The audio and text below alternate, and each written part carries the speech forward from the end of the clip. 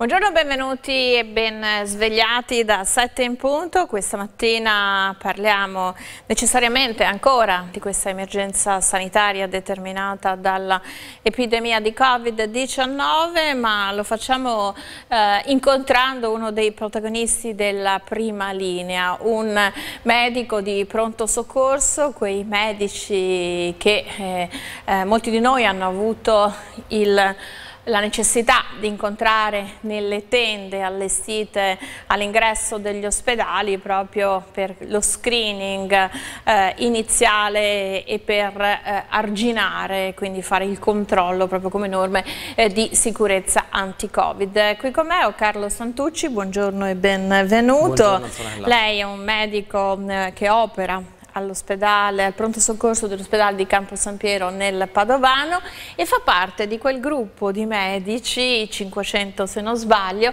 che prima ancora che si scatenasse l'epidemia eh, da Covid-19 era, eravate stati assunti dalla Regione Veneto proprio per fronteggiare il problema della mancanza di medici perché in Veneto mancano all'appello 1300 medici e siete quei medici oggetto anche eh, di opposte visioni, medici non specializzati o che non hanno ancora concluso la specializzazione perché poi nel suo caso lei una specializzazione triennale ce l'ha e che sono stati assunti e eh, in qualche modo messi ad operare in corsia. Quindi questi medici non specializzati, laureati, però eh, in grado di eh, lavorare, che per qualcuno invece c'era la perplessità di dire se non hanno la specializzazione in che mani finiamo.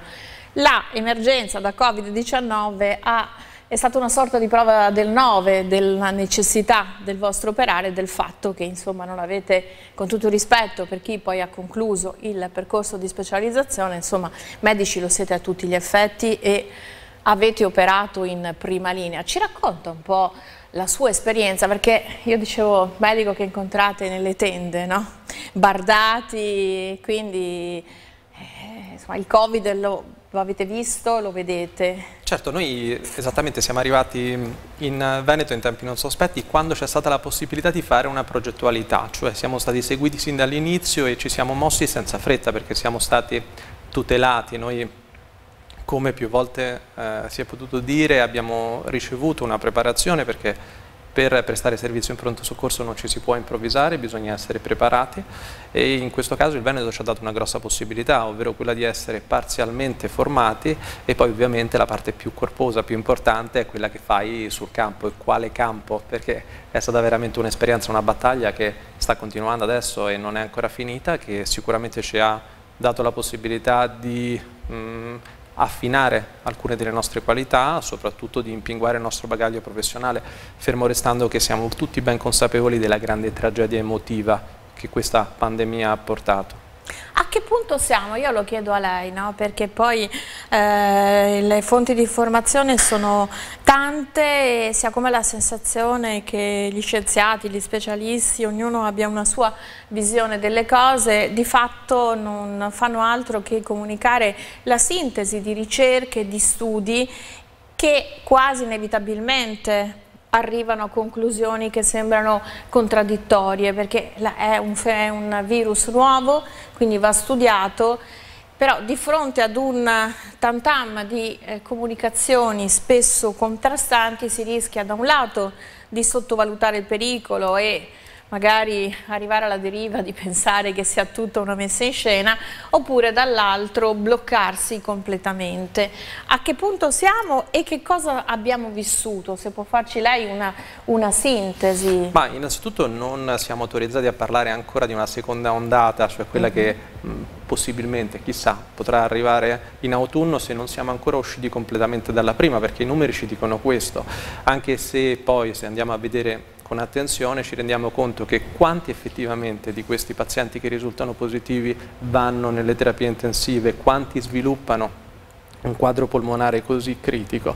I numeri adesso, in questo momento, in Veneto ci dicono che ci sono due persone ricoverate in terapia intensiva, quindi dobbiamo essere sempre consapevoli che un paziente non è un numero, ad ognuno dobbiamo riconoscere un'identità e un'elettività, però dobbiamo avere anche grande serietà nel cercare di tranquillizzare la popolazione. Quindi mh, sotto questo punto di vista vanno inquadrati anche i positivi, debolmente positivi, qual è la carica virale di adesso, prendere il virus adesso è differente rispetto invece a quello che poteva capitare tre mesi fa. Uno Perché? Per la... Il virus si è indebolito? Hanno detto di no. Um, Però no. Meno, eh, fa meno danni, perché lo sapete affrontare meglio, perché avete delle armi per curarlo, cioè dove sta... Esattamente, innanzitutto abbiamo una grande arma che è quella rappresentata dall'esperienza, quindi ci siamo resi conto con il tempo quali sono le terapie che funzionano, dove dobbiamo cercare di agire immediatamente, quali sono i punti critici su cui agire. E poi chiaramente in questo momento in cui non abbiamo un'esasperazione, non abbiamo un sovraffollamento delle terapie intensive, in generale degli ospedali siamo in grado di poter lavorare meglio, non che prima non si sia fatto, chiariamo, eh, gli ospedali soprattutto quelli del Veneto, hanno curato tutti, sotto tutti i punti di vista, anche perché il Veneto sotto questo punto di vista è una regione virtuosa, ha avuto la possibilità tramite la continuità assistenziale e i medici di medicina generale di poter filtrare con dei linfonodi i pazienti, quindi non tutti per fortuna sono arrivati in pronto soccorso come purtroppo è successo in Lombardia, lì c'è stato veramente un intasamento. Eh, e i pronto soccorso soprattutto hanno lavorato molto bene. Quello che fa la differenza in questo momento sicuramente è che c'è una carica virale più bassa, infatti il quadro che si va a sviluppare è un quadro eh, più lieve. Facciamo attenzione però che ci sono eh, delle comorbidità, cioè tanti fattori di rischio che ogni singolo paziente si porta dietro che possono peggiorare la situazione. Se il sistema immunitario non funziona bene, prendere il virus a marzo, prenderlo a luglio, purtroppo può sempre rappresentare un grande problema, quindi dobbiamo sempre avere la guardia alta e non dimenticarci di cominciare a ragionare su ogni singolo paziente e non considerare la massa. Lei parlava di una carica virale minore, questo perché? Perché carica virale cosa si intende? Meno virus che circola, quindi meno quantità di virus e per ridurre questa quantità di eh, virus che circola mi viene da dire che allora l'utilizzo della mascherina da alcuni vituperata, da altri esaltata o il distanziamento oppure l'igienizzazione delle mani sono eh, dei requisiti che ti permettono in qualche modo di bloccare la diffusione del virus e quindi che non possa saltellare da un individuo all'altro? Questo sicuramente sì, però dopo alcuni mesi non possiamo permetterci di dare come risposte soltanto come quelle che purtroppo lo Stato ha dato di lavarci le mani, di distanziarci, di mettere sempre le mascherine. Quello è importante, però altrimenti se ripetuto troppe volte rischia di essere come la rubrica della settimana enigmistica buona a sapersi.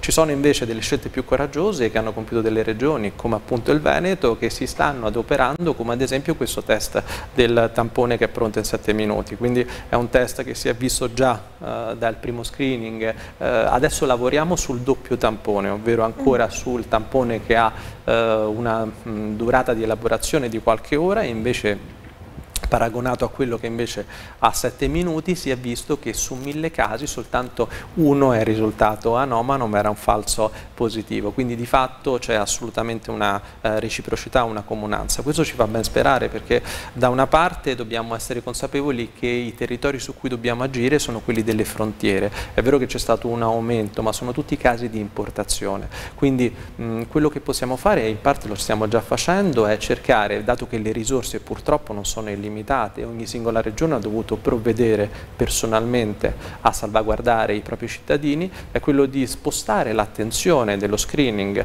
eh, dagli operatori sanitari, ad esempio, che abbiamo visto che sono sani e siamo... Se non sbaglio proprio il piano di sanità pubblica in queste ore ha previsto un test per gli operatori sanitari non più ogni 15 giorni ma ogni 30. Esattamente, esattamente Quindi questo. va testata la popolazione? Va testata la popolazione ma soprattutto... Quindi la linea Crisanti. Esattamente, va testata... Entriamo diciamo in un terreno un po' minato diciamo, da un diciamo punto di vista della comunicazione politica, sì, ma teniamoci fuori... No, diciamo che più che una linea Crisanti è una linea del buonsenso che comunque è stata sempre condivisa sotto questo punto di vista dalle istituzioni. Ma si possono fare tamponi a tutti oppure progressivamente sfruttando questo tampone che ha la risposta in 7 minuti potrà diventare tipo una prova, si è parlato anche varie volte, una prova della glicemia, no? uno si certo. fa un test e vede, ma poi te lo fai quando? Te lo fai per capire, te lo fai quando hai dei sintomi? Perché io volevo approfittare della sua presenza. Quando si parla di positivo,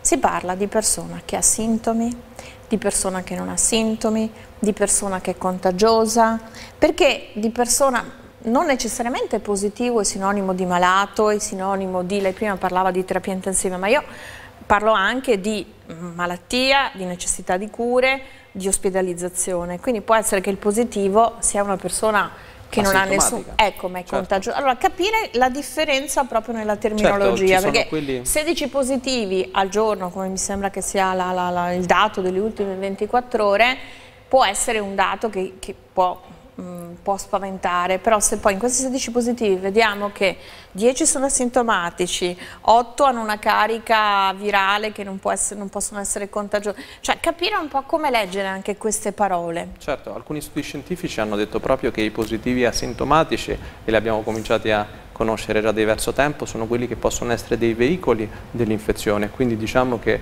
possono portare questo virus soprattutto a chi ha un sistema immunitario, come dicevamo prima, più gracile, più debole, quindi non riesce a uh, gestirlo. Mm, di conseguenza abbiamo conosciuto quella tempesta citochinica che ha portato poi a quel quadro respiratorio molto importante. Però va anche detto che in questo momento ci stiamo avvicinando a un quadro di debolmente positivi, ovvero come dicevo prima, eh, se dobbiamo amplificare la sequenza di basi del dell'RNA di 34-38 volte per riconoscere un segno di attività, allora dobbiamo rivedere la soglia di positività, questo per evitare e una spesa sanitaria e anche una spesa emotiva a quelle persone che andranno poi in quarantena senza un determinato eh, e ragionevole motivo. E anche spesa sociale ed economica, perché anche questo elemento che non ci possiamo permettere. Esattamente, ma poi creeremo anche un regime di paura che si va a sommare a tutto quello che abbiamo vissuto in questi mesi.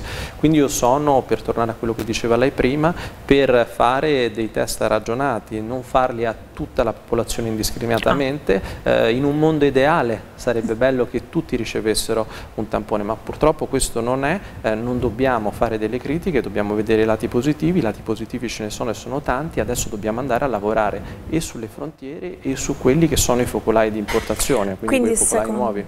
Quindi secondo lei i test sono da fare a quei flussi di persone che sono in altri paesi e che eh, prima so, chi arriva all'aeroporto, chi arriva in stazione, chi arriva alle frontiere, lei ritiene che questo sia un nuovo, un nuovo screening da effettuare a delle categorie, insomma, che possono essere categorie sensibili? Assolutamente sì, certo, sarebbe auspicabile riuscire a fare un numero sempre maggiore di persone, però se dobbiamo scegliere, perché purtroppo sempre dobbiamo confrontarci con i conti quando parliamo di salute, dobbiamo tenere conto che eh, questo tampone che è quello super rapido di 7 minuti è, si presta benissimo per i viaggiatori, per chi mh, mm, mh, mm, riesce a stanzionare poco tempo da una parte all'altra e quindi darebbe un lascia passare importante, soprattutto alla luce del fatto che funziona ed ha la stessa efficacia dei tamponi che abbiamo conosciuto nei mesi scorsi che invece hanno una durata di elaborazione di alcune ore, quindi questo vuol dire paralizzare la situazione, per carità si fa tutto, però se abbiamo una possibilità maggiore lo riusciamo a fare con più serenità. Resta sempre il concetto che posso essere negativa adesso e tra sei ore posso aver contratto il virus, quindi, quindi, però facendo già uno screening su quelle che possono essere le categorie sensibili riduco i, i cerchi concentrici no, di possibilità di contagio. E non solo, avere, cercare di avere uno storico epidemiologico delle persone che vado eh, a campionare, quindi non abbandonarle soltanto al primo tampone ma guardare proprio lo storico per vedere la comunità come si sviluppa, andare a ricercare quelli che sono i contatti che quelle persone hanno avuto. Quindi cercare di fare un lavoro che eh, in Italia, ma soprattutto in Veneto, è stato fatto più certosino possibile, più meticoloso possibile, per poi mappare tutti con sicurezza e permettere poi all'economia di ripartire, perché poi questo è anche uno degli snodi più importanti su cui noi medici non dobbiamo dire niente, ci dobbiamo occupare soltanto dei nostri pazienti, però sicuramente il benessere eh, della nostra società dipende anche da altri fattori. Chi si fa il test per sapere se ha, se ha incontrato il virus e magari lo ha sconfitto, non se ne è accorto, oppure l'ha contratto prima che se ne avesse consapevolezza, le famose IgM, IgG, che poi molti positivi magari emergono anche no, da, questi, da, questi, dati. È una cosa positiva, non serve a niente? Allora diciamo che quello più affidabile resta comunque il tampone, mentre invece mm. il sierologico ha eh, evidenziato alcuni, ehm, alcuni, falsi positivi. Ricordiamo ai nostri telespettatori che quando eh, riscontriamo delle IgM vuol dire che la patologia, l'infezione è in fase acuta, le IgG sono invece quelle di guarigione, quindi vuol dire che questo virus ha cronicizzato, ma anche qua quanto sarò immune da ah, certo. uh, questo virus, questo non lo possiamo sapere. L'unica cosa che stiamo aspettando è appunto il vaccino ed è notizia di poche ore fa che di fatto è partita una, sta per partire una, um, un campionamento, sta per partire una fase di elaborazione sul, sull'uomo e alcuni paesi come ad esempio il Brasile che hanno avuto delle grosse partite umane si sono già resi disponibili per cercare di effettuare queste prove sulla popolazione il prima possibile, quindi questo ci salverà. Ecco. Ma il coronavirus eh, cambiano, si dice, questo è un coronavirus, eh, è come sono i vaccini influenzali che, vanno, che hanno una efficacia fino a un certo punto. Secondo lei crede che anche per il Covid-19 si possa avere un vaccino che poi ha efficacia o che andrà rivisto ogni... cioè il vaccino può essere una strada più che magari, non lo so, l'anticorpo monoclonale, cioè il farmaco mirato? Ma diciamo che è una possibilità, dobbiamo sempre vedere quanto tempo potrà durare e soprattutto su quali persone potrà agire e su quali sintomi potrà agire. Di fatto già avere un vaccino che ci permetterà di eliminare quella sintomatologia più critica sarà comunque una vittoria. Eh, si è parlato tanto anche di altre terapie come il plasma iperimmune uh -huh. che mhm. resta una buona possibilità, però anche là dobbiamo chiarire che non, tutti, non tutte le persone che hanno contratto un'infezione e quindi che hanno sviluppato le IgG sono in grado di poter donare il plasma immune. C'è una finestra terapeutica che è quella intorno alle due settimane, tra le due settimane dopo che si è guariti e le tre si riesce ad avere un titolo anticorpale sufficientemente alto da poter essere donato e quindi da poter dare a livello eh, clinico un miglioramento per quanto riguarda le persone che invece non hanno gli anticorpi propri e quindi cercano di eliminarlo tramite quelli che vengono donati. Secondo lei il vaccino è utile come metodologia per chi eh, sa combattere il virus, quindi per i cosiddetti positivi asintomatici, che su di loro il virus ha un effetto blando se non quasi nullo, che però possono essere veicolo e quindi possono essere anche eh, vettore di complicanze per chi è magari più debole, quindi magari si, fa, si, può fare il vaccino, la popolazione chiamiamola sana e va a proteggere i casi più delicati?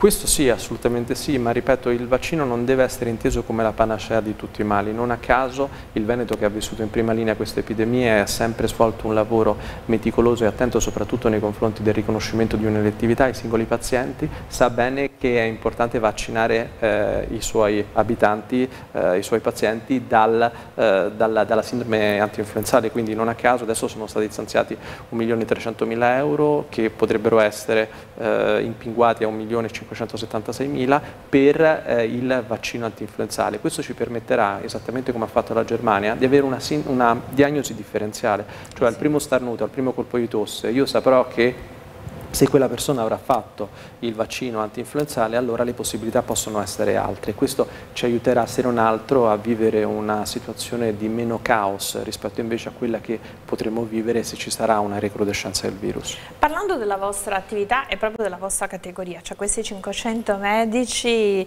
che, ripeto, non siete specializzati ma non siete neanche neolaureati perché lei ad esempio ha una specializzazione triennale conseguita all'estero in oculistica se, se non erro, quindi quindi la formazione l'avete. Voi avete un contratto a tempo determinato, siete stati in prima linea proprio a contatto diretto per l'emergenza e qual è il vostro futuro? Perché questo contratto, eh, se non sbaglio, andrebbe a scadere proprio in corrispondenza di quella timore che ci possa essere una recrudescenza in autunno, perché come le, le, le sindromi influenzali si ripropongono in maniera eh, virale in autunno, questo potrebbe essere anche il caso del Covid-19.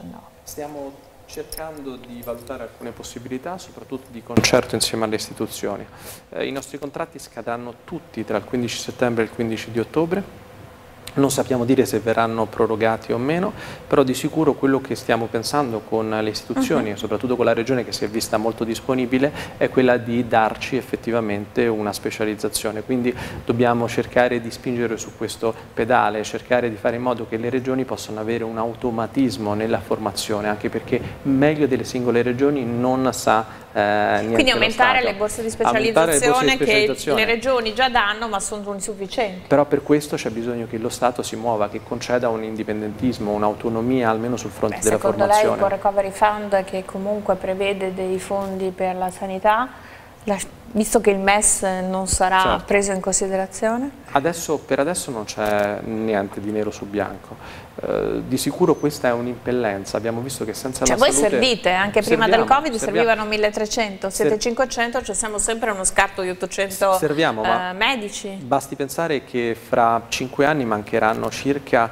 eh, 20.000 medici, 20 diciamo che l'Italia è un paese ricco di medici, quelli che mancano sono i medici specialisti. E 5 anni famosi. E uno specialista purtroppo non si forma dalla mattina no, alla sera ma ha bisogno di un percorso uh, piuttosto lungo, quindi quello che noi dobbiamo cercare è di ottenere queste borse di specializzazione, le regioni sono dette assolutamente disponibili, ma per questo c'è bisogno di un grande sforzo da parte dello Stato nel riconoscere questa situazione, perché se dovesse bussare un'altra emergenza come questa, noi fra cinque anni non avremo medici da ringraziare.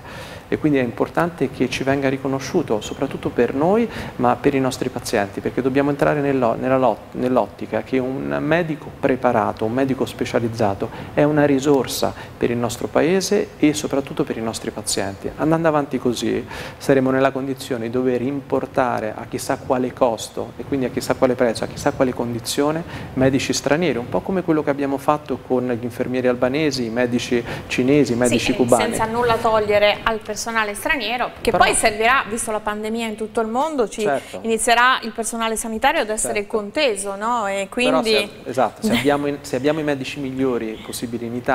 Poi abbiamo perché... anche un sistema universalistico esatto. ancora che eh, fino a prova contraria resiste sì. in, in, Italia. Non teniamoli in panchina, ecco, sì, facciamoli ecco. giocare.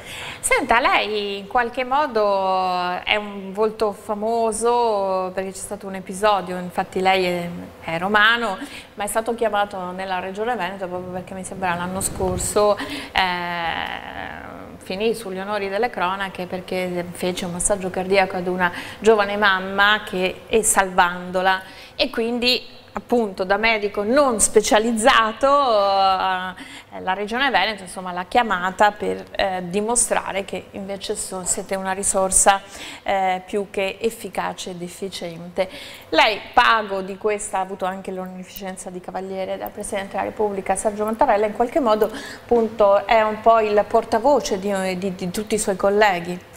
Certo, se, quello, se la mia storia, se la mia eh, piccola mediaticità può veicolare un messaggio, io non voglio assolutamente riflettori su di me, ma li volevo sull'importanza di, di, saper fare un massaggio cardiaco al tempo, li voglio ancora, ma soprattutto spostare l'attenzione sulla condizione di tanti medici che come me si trovano costretti a dover eh, vivere alla giornata, avere dei contratti che non sono lunghi e sappiamo tutti che cosa vuol dire non poter dare una progettualità alla propria propria vita, con tante associazioni, basti pensare a un'associazione molto importante che si chiama Associazione Camici Grigi, stiamo valutando delle possibilità proprio perché non vogliamo più essere grigi ma vogliamo essere bianchi, splendenti per i nostri pazienti e i medici migliori possibili.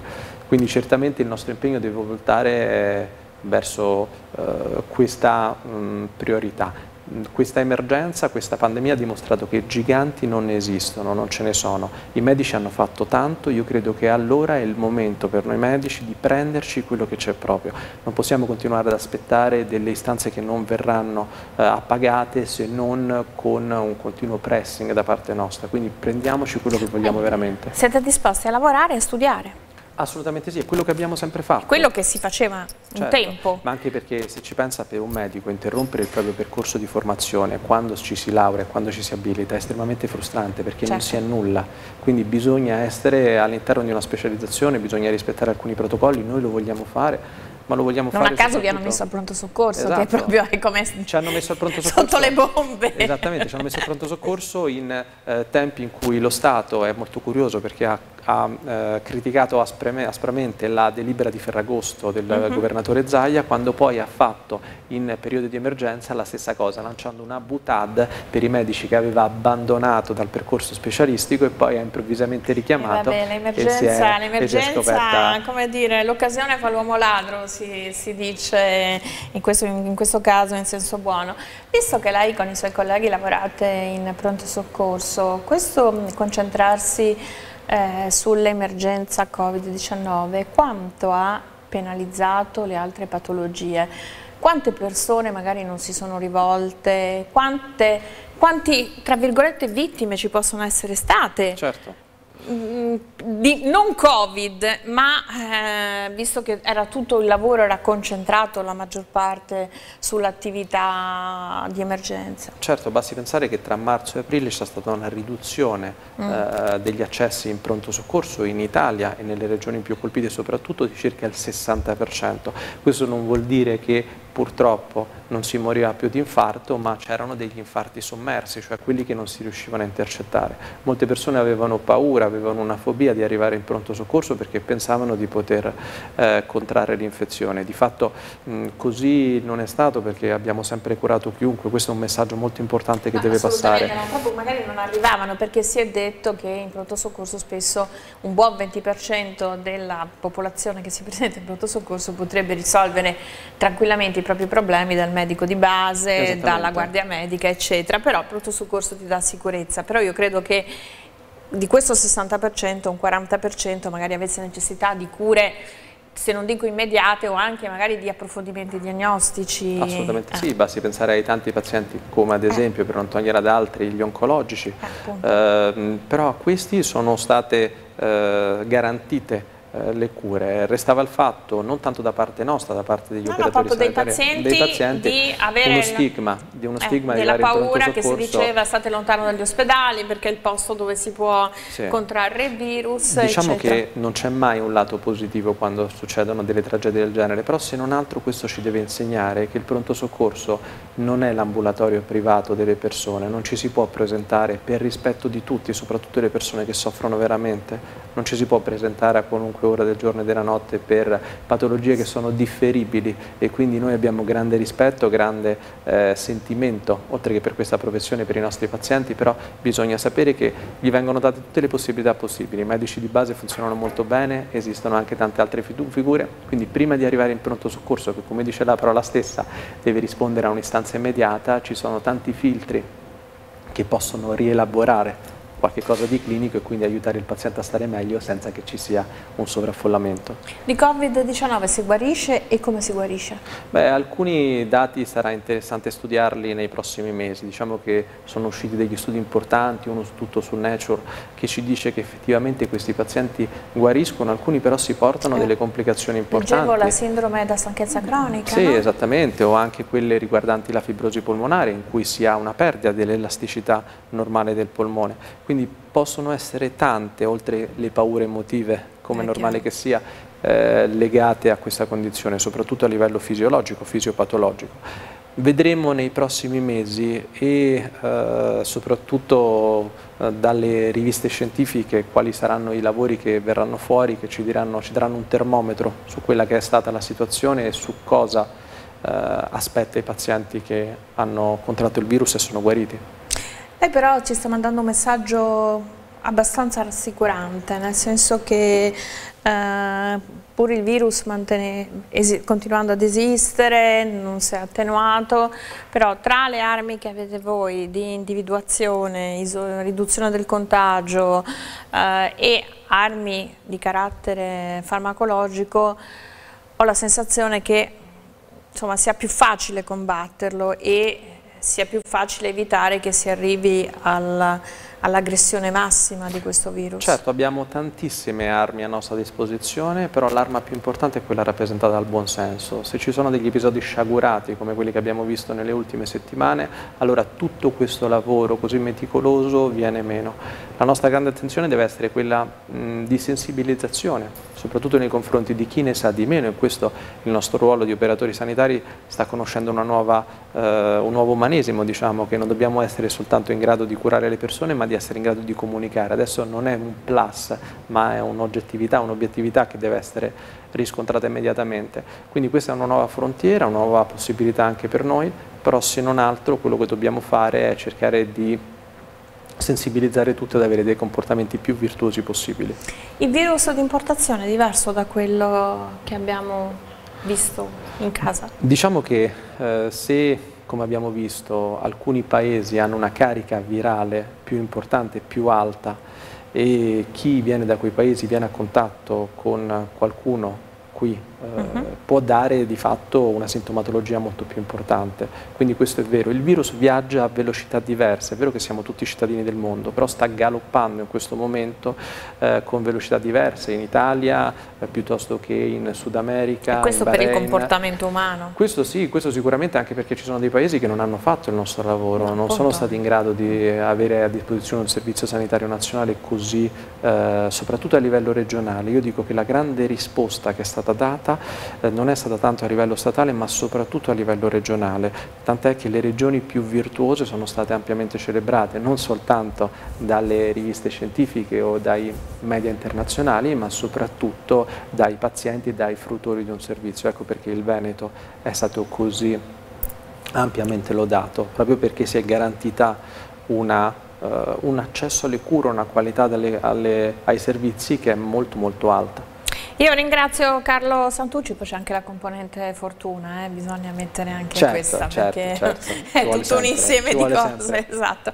Ringrazio Carlo Santucci, medico dell'ospedale del pronto, di, del pronto soccorso dell'ospedale di Campo San Piero nel Padovano, uno di quei medici in prima linea nella lotta al Covid-19, ma non solo a quella, perché in pronto soccorso oggi arriva fortunatamente chi ha bisogno di cure con meno paura di qualche mese fa. E noi siamo lì per quello. Grazie. Grazie, Grazie arrivederci a domani mattina con Stato in Punto.